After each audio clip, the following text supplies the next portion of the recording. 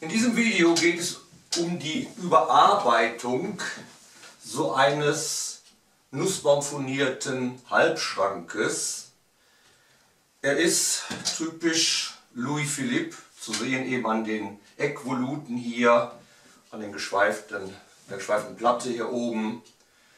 Und diese Art von Halbschränke gibt es eigentlich noch relativ häufig. Ich habe es ja auch schon sehr oft gehabt meistens Nussbaum oder auch im Mahagoni furniert. Wir sind hier ja beim Louis Philippe in der Zeit ab 1840 bis 1860, 1870. Also da gibt es doch wirklich ganz große Qualitätsunterschiede. Also gerade die frühen Louis Philippe Möbel sind dann noch wesentlich qualitätsvoller gearbeitet als diese späteren, vielleicht sind wir hier sogar schon 1880. Also wir werden gleich noch sehen, dass hier wirklich schon einige Dinge sind, die doch sehr, zu, sehr bedenklich sind. Ich spreche jetzt hier mal nur von einer Überarbeitung, denn ich will jetzt hier gar nicht die ganze Oberfläche abnehmen, denn da ist Shellac drauf. Ich brauche also nur noch mal neu überpolieren. Ich könnte zwar auch einige Furniereinsatzarbeiten tätigen, aber das ist nicht unbedingt zwingend jetzt. Und gerade wenn man so einen Teil zu Hause hat, ne, wer will schon Furnierarbeiten tätigen, da kann man also auch mit, mit den Shellac-Kittstangen arbeiten, um kleine Schäden äh, zu beheben. Und man beizt vielleicht sogar nur. Und ich möchte auch gar nicht jetzt so viel Zeit investieren, denn es sieht ja allgemein eigentlich noch ganz gut aus. Ich habe jetzt zwar schon ein paar Teile wieder neu angeleimt, die, die Anschlagleiste war ab oder auch eine von den Voluten. Da fehlt auch das Podest hier, äh, die Basis unten hier. Die habe ich neu angeleimt und musste ein neues Schloss einbauen. Aber es sind jetzt so eher, eher Kleinigkeiten. Wichtig ist natürlich für jemanden, der jetzt so ein Teil zu Hause hat und das überarbeiten möchte, die Frage, sagt man wahrscheinlich dann, ja, ist denn überhaupt Shellac drauf oder was ist drauf? Und eigentlich, ich habe ja schon in meinen anderen Videos gezeigt, man kann das natürlich, indem man jetzt hier mit Ethanol ein bisschen an der Stelle anreibt, schnell klären, ob da Shellac drauf ist oder ein moderner Lack, dass das, das vielleicht schon mal überarbeitet worden ist. Aber man kann auch manchmal schon allein vom genaueren Betrachten erkennen, ist da schon mal was Neues drauf gekommen. Hier sieht man zum Beispiel eine Stelle bei einem Stuhl, da wurde ganz klar mit Pinsel ein Lack aufgetragen. Dann sieht man hier dann auch so Läufer. Also Läufer sind immer ein Zeichen dafür, dass ein neuer Lack aufgetragen worden ist. Denn da müssen wir überlegen, Shellac wird immer nur hauchdünn aufgetragen. Da wird es also nie Läufer geben eigentlich. Ja? Und auch hier bei dieser Kommode sieht man, wenn man genau hinschaut, an einem Rand, dass da so ein bisschen dickerer Lack zu sehen ist. Das beruht hier, die ist also gespritzt worden. Und auch beim Spritzen von Lack ergeben sich manchmal jetzt allein dadurch, dass eben auch, dass natürlich auch irgendwelche Seiten da sind, wo der Lack etwas dicker sich dann ansammelt und man das auch erkennen kann. Muss nur mal genau sich die Ränder und äh, Seiten anschauen. Dann erkennt man das meistens auch schon, ohne jetzt ein, mit Lösemittel zu arbeiten und dann zu erkennen, ob Shellac drauf ist. Ich habe auch schon in anderen Videos gezeigt, dass eben es oft Unterwanderungen gibt bei Nitrolacken von Feuchtigkeit. Dann bilden sich eben weiße Stellen irgendwo. Das haben wir hier alles auch nicht, sondern eigentlich sieht hier noch ganz nett aus. Das Einzige ist hier jetzt, da erkennt man dass es so ein bisschen abgenutzt ist. Und das ist eigentlich was typisch bei Shellac. Also da gibt es keine Unterwanderung von Feuchtigkeit, sondern eher dann hier so eine Abnutzung. Da kommt schon das rohe Holz dann zum Vorschein. Das sieht man schon ziemlich deutlich eigentlich. Auf der Platte haben wir hier ein Fries und hier in der Mitte haben wir ein Wurzelfurnier, Wurzelholz, geklappt und gespiegelt, also vier Blätter insgesamt die dann dieses schöne Muster ergeben. Wenn wir mal so Licht uns das anschauen, sieht man aber hier deutlich, was hier los ist. Es gibt hier so Wellen, wenn man hier mal hinschaut. Die lassen sich auch durch Schleifen nicht beheben, denn das Furnier ist einfach so dünn, Das ist tatsächlich hier schon die Früh- und Spätholzringe des Blindholzes, was hier drunter ist. Ist ja nur furniert, zum Vorschein kommen. Durch das Schwinden des Blindholzes ist das jetzt, sieht man das hier jetzt. Ich, deutlicher sieht man das noch an auf, auf der Türe. Auch auf der Türfüllung haben wir ein Wurzelholz. Und auch da sehen wir diese Wellen ganz deutlich. Zuerst hatte ich die Vermutung, dass diese Wellen entstehen, weil das Furnier gemessert worden ist. Aber wenn man sich die Rückseite ansieht, sieht man ganz deutlich, dass eben diese Früh- und Spätholzwachszonen, die hier zu sehen sind, sich hier eben durchdrücken auf der anderen Seite. Wenn man mal genau jetzt hier hinschaut, hier unten, dann sieht man hier, das ist so dünn, das Furnier. Hier scheint sogar, also hier wurde dann vorher mit einem Zahnhobel gearbeitet. Hier kommt sozusagen, hier sieht man sogar schon die Zahnhobelspuren. So dünn ist das Furnier hier einfach. Also das ist ja nur noch 0,3, 0,4 Millimeter stark. Dann ist natürlich kein Wunder, wenn dann hier dieses Blindholz da durchscheint. Das ist natürlich ganz selbstverständlich, dass man hier überhaupt nicht mit Schleifpapier dran gehen kann. Dann ist man sofort durch. Die kann man wirklich dann nur mit einem Schleifvlies, vielleicht um den Dreck abzunehmen, oder ganz fein mit einem Tuch und Ethanol, Spiritus Dreck abnehmen und dann einfach wieder mit einem Ballen überpolieren. Also die dünne Furnierung ist sicherlich schon eines der unangenehmsten Sachen, die hier zu sehen sind. Aber auch wenn ich jetzt das vergleiche mit dieser Türe hier, die sicherlich 30 Jahre wohl früher ist als dieses Objekt hier, das ist zwar Mahagoni furniert, aber man sieht doch schon einige Unterschiede oder spürt sie einfach auch. Wenn ich also hier rüber gehe, das mag ja auch schon Maschinenarbeit zum Teil sein, hier oben sicherlich eher dann Handarbeit und mit Ziehklingen und Schweifhobel, sonst was. Ist das schön harmonisch eigentlich alles. Hier dagegen, diese Fräsung hier merkt man deutlich, also hier, dass es hier Wellen gibt oder hier ist es sogar richtig zu sehen. An der Stelle hier, dass hier der Fräskopf irgendwie weggerutscht ist ein bisschen. Das ist also nicht so schön. Ja, hier wurde sogar noch die Kante furniert. Das hat man hier weggelassen, also alles arbeitsmäßig weniger Aufwand. Zapfenband ist hier bei der rechten Tür sogar noch geschmiedet. Hier haben wir schon Industrieware. Ja, schauen wir sich die Rückseite an. Fällt natürlich gleich auf. Hier die ältere Tür hat man versucht eben durch Holzmalerei das Mahagoni zu imitieren. Sicherlich auch eine aufwendige Arbeit. Hier hat man es ganz roh gelassen. Hier gibt es sogar noch einen eingearbeiteten Riegel. Hier ist eher dann ein Federschnepper. Auch bei den Schubladen gibt es Unterschiede. Hier eine schöne dichte Zinkung. Hier bei der anderen Kommode. Also damit kann man keinen Preis gewinnen mit so großen Lücken. Ansonsten von der Konstruktion kann man hier eigentlich nichts sagen hinten. Also das ist sogar noch hier mit Gradnut. Die Seiten mit Gradnut in die Platte eingelassen und auch hier die Laufleiste ist als Gradnut ausgebildet für die Schublade. Was mir besonders gut gefällt beim Halbschrank ist der hölzerne Schlüssellochbeschlag. Normalerweise ist er eher hier so relativ schlicht, obwohl er auch natürlich Profil hat. Aber hier ist ja dann nochmal auf dem Holz so ein, ja das muss so eine Art Harzgemisch sein, aufgesetzt worden und damit so ein Prägestempel irgendwie so aufgedrückt worden, dass hier so feine Perlen entstehen. Also das sieht eigentlich ganz nett aus. Habe das so auch noch nie gesehen. Das Lösen der Türe ist wirklich nicht schwierig. Man legt die Kommode einfach mal irgendwo hin und schaut dann hier unten drunter. Beim Zapfenband ist eigentlich immer nur eine Schraube, die gelockert werden muss oder herausgeschraubt werden soll. Und dann lässt sich die Tür ganz einfach rausziehen hier. Das Zapfenband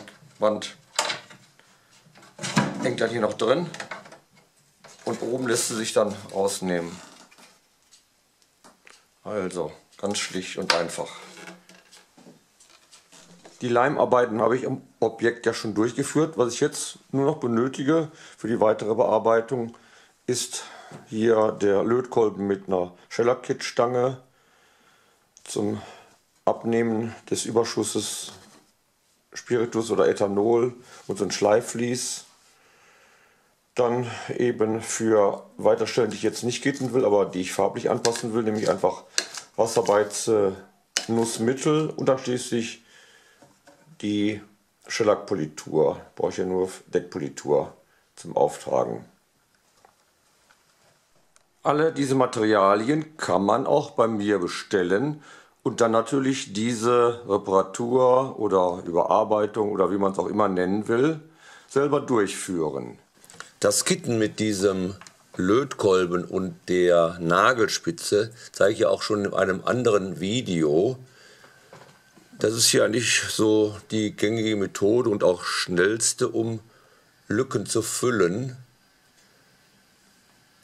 Da entwickelt dann jeder so seine eigene Methode, wie man nachher jetzt den Überschuss am besten abnimmt. Und auch wie man das überhaupt hier handhabt. Für mich ist immer am besten eigentlich, wenn ich dann die Schellackstange an den Nagel drücke, dann läuft automatisch das Schellack runter. Man kann die Lücken füllen.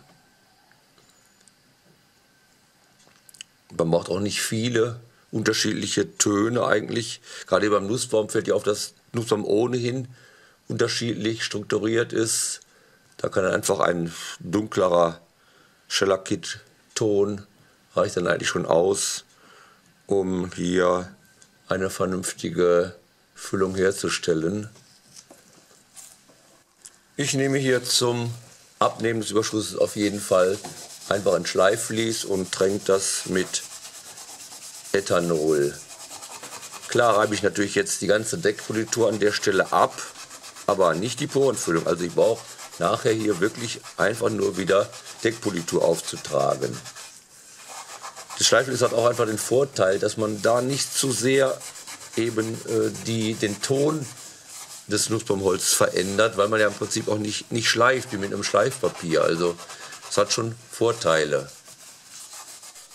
Hier bin ich nur an einer Stelle, die ich eigentlich furnieren würde. Denn ich sage immer, was größer als ein Finger, Fingernagel ist, sollte eigentlich furniert werden neu.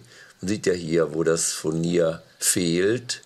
Aber ich will jetzt hier in diesem Video auch mal zeigen, dass man natürlich auch so eine Stelle mit Shellac kitten kann, denn wer hat zu Hause schon Furniere liegen, ne, die er dann hier einarbeiten kann. Also es geht auch mit diesem Shellac-Kit. Fällt nachher eigentlich auch nicht mehr besonders auf, das werden wir am Ende des Filmes noch sehen.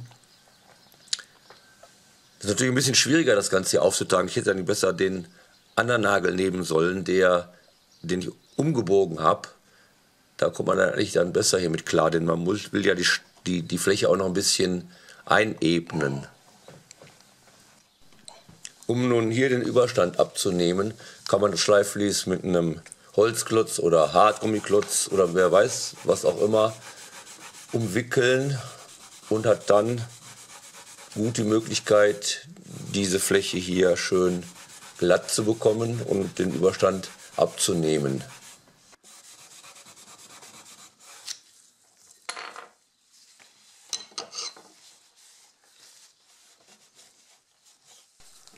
Nun gibt es ja auch die Hochglanzpolitur für schellackpolierte Flächen.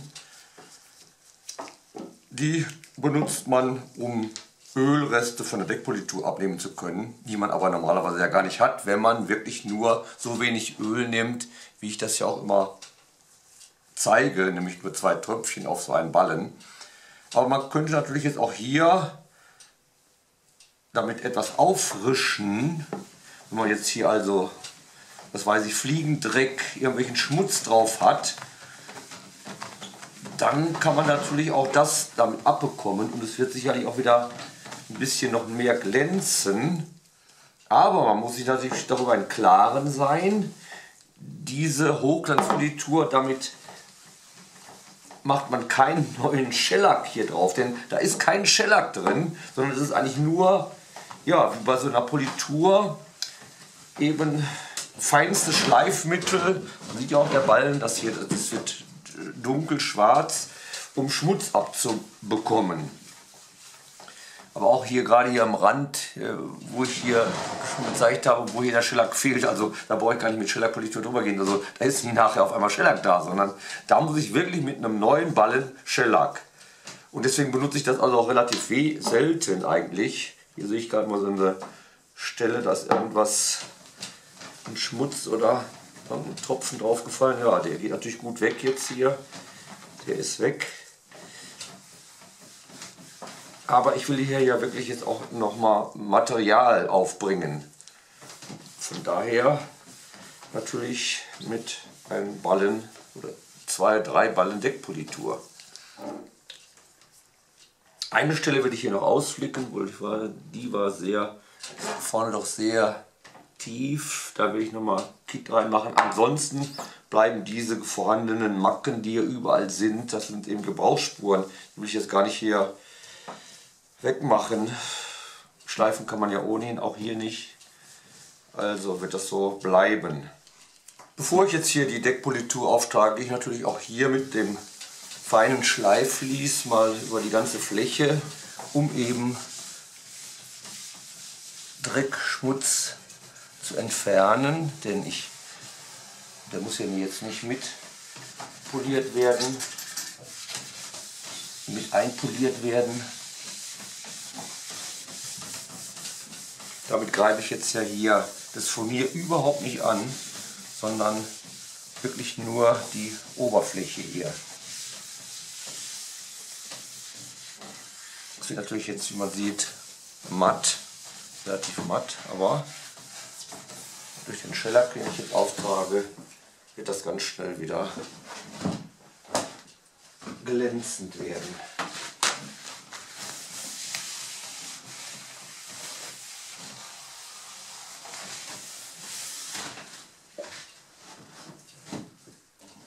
Jetzt nehme ich ganz normal meinen Ballen.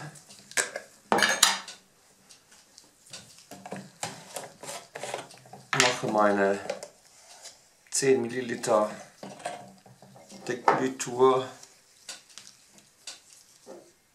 hier drauf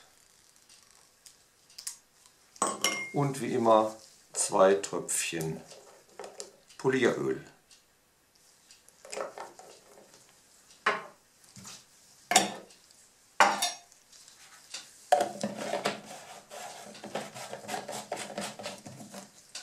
dann geht's auch schon los.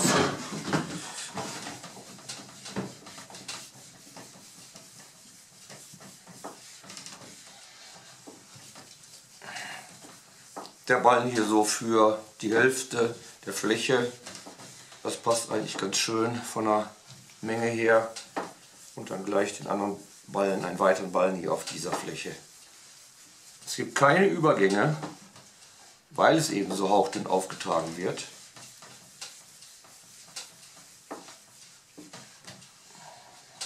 Natürlich trage ich jetzt besonders hier an den Ecken, gehe ich, gehe ich öfters hin, weil da ja auch wirklich Schellack fehlt.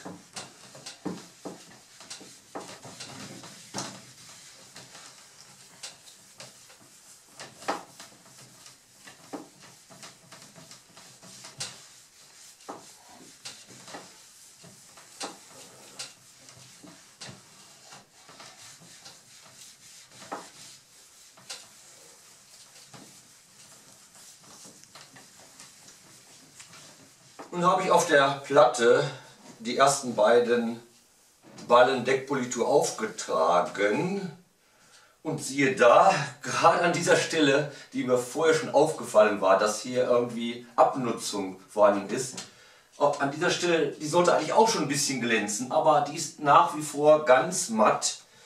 Da ist also irgendwas nicht in Ordnung.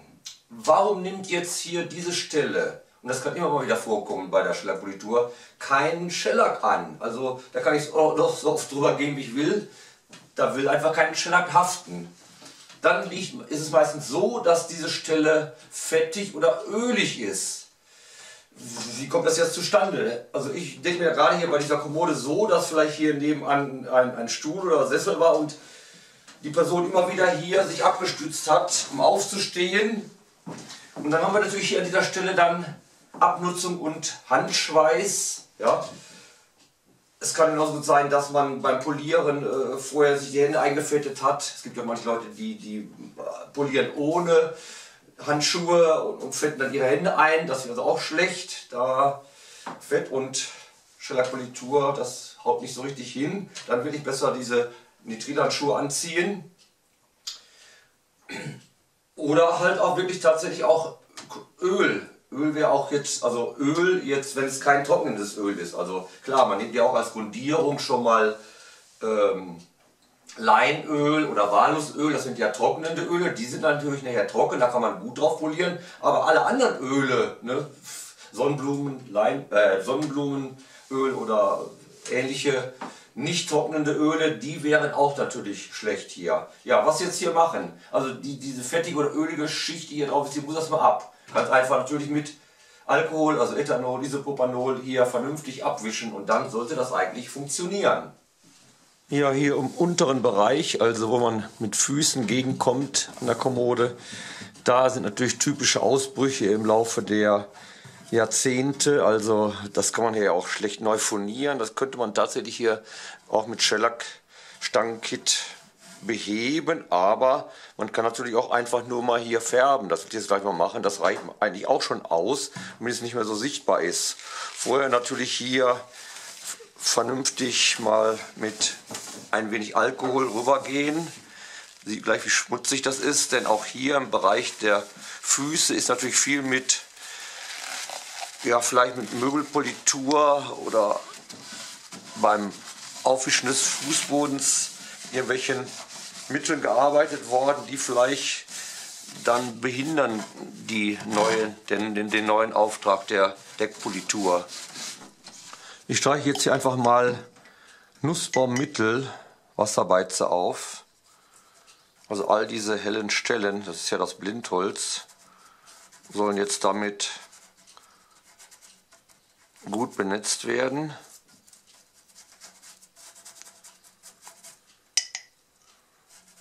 Auch dafür ist natürlich wirklich wichtig, dass hier das Holz roh ist, denn sonst kann die Wasserbeize hier nicht richtig einziehen.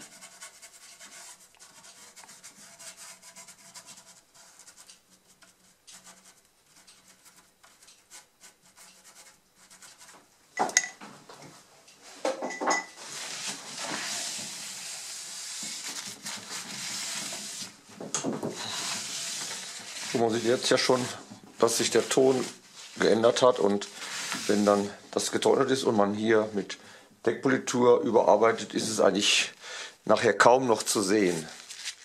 So, schauen wir uns jetzt den Halbschrank mal fertig poliert an. Also hier ist die Stelle, die ich ganz neu aufpoliert habe. Glänzt jetzt auch sehr schön. Ja, einige Stellen, wenn man es weiß, dann fallen sie auf. Wenn man es nicht weiß, eher nicht. Also jetzt, wo ich hier gekittet habe und mit dem Schleifvlies gearbeitet habe, ist doch etwas heller. Ich hoffe, dass sich das dann wieder angleicht durchs UV-Licht. Da hätte man natürlich auch noch färben können. Aber das weiß man halt immer nicht so genau. Sieht man das meistens später. Je nachdem, wie jetzt auch immer das UV-Licht vorher schon gewirkt hat, ob es ausgeblichen ist, das Furnier oder weniger ausgeblichen, muss man dann halt nochmal dann doch nachfärben. Was jetzt gar nicht so auffällt, ist eben hier diese große Stelle, die ich gekittet habe. Und auch hier die unten, wo ich nur gefärbt habe. Fällt eigentlich wirklich nicht mehr auf. Ja, es habe jetzt verbraucht 0,2 Liter Deckpolitur. Sieht jetzt doch dann wieder ganz nett aus. Waren aber jetzt doch sieben Stunden, weil ich innen noch was, eine Feder einsetzen musste. Aber ich denke, das kann man auch als Privatmann dann so hinbekommen.